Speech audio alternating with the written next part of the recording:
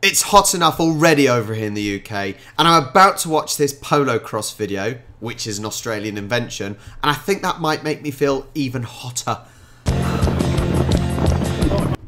Look, I'm moaning about the heat, but just look how hot it is there. I think this is in Queensland.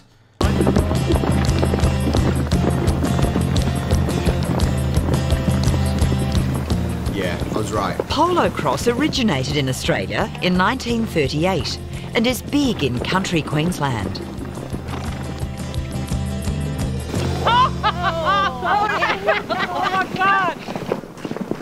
Grazier Anthony Glasson is president of the Thargomindah Polocrosse Club. So tell me all about the, the game of polocrosse. Well, it's sort of a cross between polo and lacrosse. It's a little bit like rugby on horseback. I know what polo is, and I know what lacrosse is, sort of. I don't necessarily know the rules or anything of either. Um, and and from from looking at the the bats that they have, they're not bats, are they? The nets they have, they look exactly what they would have in lacrosse. So it, all it actually seems like is polo, but in the air. That, that that sounds really stupid what I've just said, but that's what it looks like. One way of looking at it. Yeah, and um, it's just one horse, um, which makes it a lot cheaper and easier than, than the likes of polo, where you need a string of four or five horses per player. It's um, one of the only sports I know that that you can play all age groups all together, um, men and women. It's yeah, really, it's a really great family sport. And do you actually get to compete when you live way out here? Yeah, yeah. There's a, we've got a lot of carnivals reasonably locally. Next weekend we've got one of our closer ones in Eulo. And have you always played polocrosse? No, no. Uh, I had a little Shetland pony when I was growing up, but that was it. And then when I came here, I learned how to ride a horse, really. And where did you come from to land here? Oh, I'm, I'm from Holland. I came here backpacking and, um, well, Never left. never left. To be fair, he looks like a Dutch. You, if you stuck a, a an old style hat on him, he looks like a Dutch explorer. How they how they coping with the flies everywhere and and whatnot, and those poor horses. But it does look like brilliant fun. I think you've got to appreciate the control they have of their horses as well. no, no. He was too good to leave, was he? Oh, absolutely, yeah. We have twin boys, 11 year old twin boys, and a 12 year old daughter. And um, yeah, she's off to boarding school, but she'll be home next week. Hold there. Yeah. And when you throw, give it a little flick back. a little flick. Yeah. Polocrosse is a game the Glasson twins clearly love. Oh! yeah. Oh, I nearly got that one. Yes, you were very close.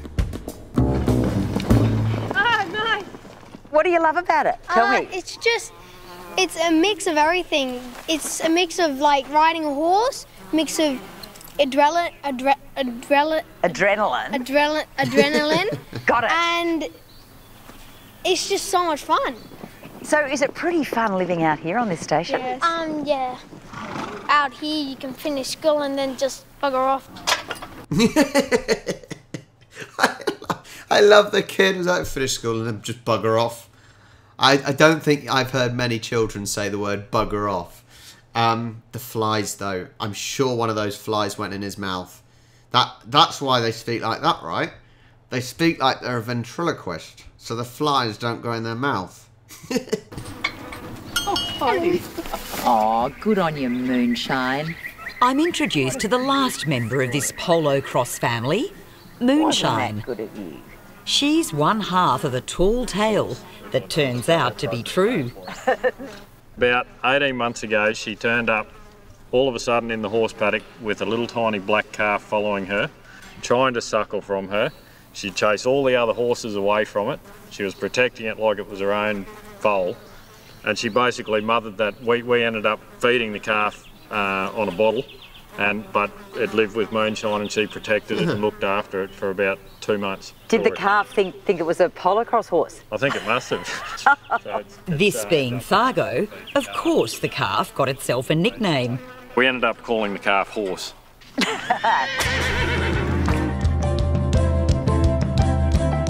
I'm very excited to get back on the horse and play another game with my family. It's good to catch up with people I know and everyone asks me how I'm going at boarding school and yeah, it's good. You catch up with a lot of friends that you only see during polocrosse season. Yeah, just a really good social event and get together and catch up. No more fun you can have than playing a sport with your kids. It's awesome. That does sound good. It does look brilliant. Um, I I really enjoy riding horses, but my problem is I am allergic to horses. So my hands, you'll see on our vlog when we went over to Mallorca, our, our second ever vlog. Um, we went horse riding, and as soon as that finished, oh my god, my hands were so itchy. It looks like really good fun actually, and I would love to give it a try. Looks tricky. The, the the ability that you've got to have to control your horse, and and well, with one hand and your obviously your feet, whilst controlling the the net as well. Don't know. If, I, I don't think net would be the proper terminology for it. Looks brilliant. Looks really good fun. How they can cope with all those flies is beyond me, but they maybe they need those cork hats. A brilliant find. Brilliant find. I don't know why they'd call it rugby on horseback because it looked nothing like rugby. You may know better. Have you played polocrosse? If you have, let me know and give me some advice. Maybe I can have a go sometime. Thanks for watching. Make sure you like and subscribe, and I'll catch you next time.